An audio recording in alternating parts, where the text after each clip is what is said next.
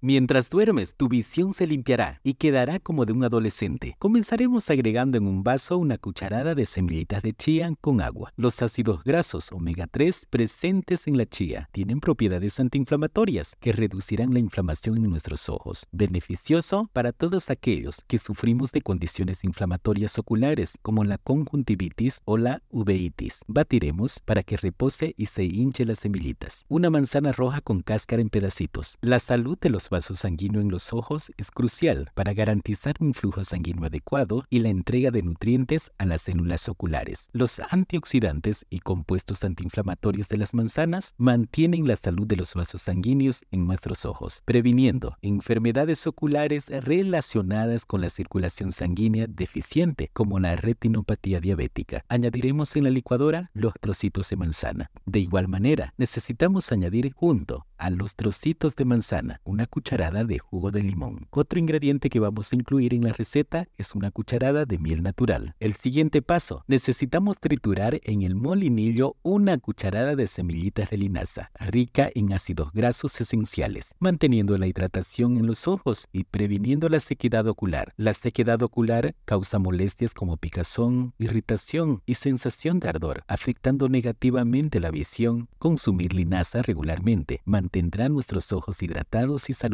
Echaremos todo lo pulverizado. Ya tenemos las semillitas de chía remojadas, hinchadas y con su gel en su punto. Llevaremos a agregar en la licuadora junto a los demás ingredientes para luego licuar por algunos minutos. Este batido nos ayuda a reducir la presión intraocular, lo que es importante para prevenir el glaucoma, una enfermedad ocular que puede causar daño al nervio óptico y la pérdida de la visión. Mantener la presión intraocular dentro de rangos saludables es crucial para mantener una visión clara y prevenir complicaciones oculares. Ya podemos beber dos veces al día, por la mañana y la noche, por 14 días seguidos. Para nuestra siguiente receta pulverizaremos una cucharada de semillitas de linaza. También colocaremos para pulverizar dos cucharadas de copos de avena. Entonces, una vez tengamos molido ambos ingredientes, tanto las semillitas de linaza como la avena, añadiremos en un bowl. A continuación, agregaremos junto a lo pulverizado una cucharadita de semillas de chía. Nos mezclar bien ambos ingredientes. Siguiente paso. Necesitamos colocar 150 mililitros de leche, preferiblemente de origen vegetal, como lo es la leche de almendra, y dejaremos reposar durante 30 minutos. Entonces, hasta que tome su proceso, iremos quitando su cáscara a una banana madura. A continuación, picaremos en rodajitas para echar en la licuadora. También nos tocará colocar junto a los pedazos de banana toda la mezcla que hemos preparado. Es momento de licuar todos los ingredientes que tenemos en la licuadora durante algunos minutos y tengamos un batido homogéneo. Mientras tanto, en un bowl pequeño colocaremos dos cucharadas de mantequilla de maní. Entonces calentaremos para que se disuelva y se vuelva líquida. Todo lo licuado agregaremos en nuestro vaso y enseguida añadiremos la mantequilla de maní derretida. Nuevamente echaremos la mezcla hasta llenar nuestro vaso. Está listo y podemos tomar un vaso en ayunas por las mañanas.